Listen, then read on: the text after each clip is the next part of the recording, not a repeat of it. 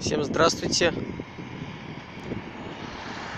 Я сегодня посетил небольшой храм деревянный в честь Николая Японского. Некого. Даже не знаю, кто такой. В одном из наших районов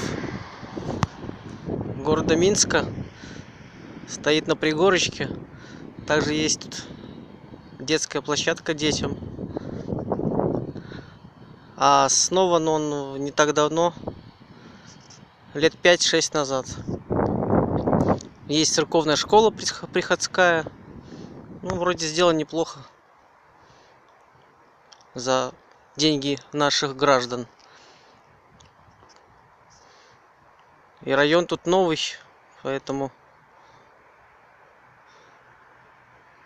кто хочет, желает, может посетить.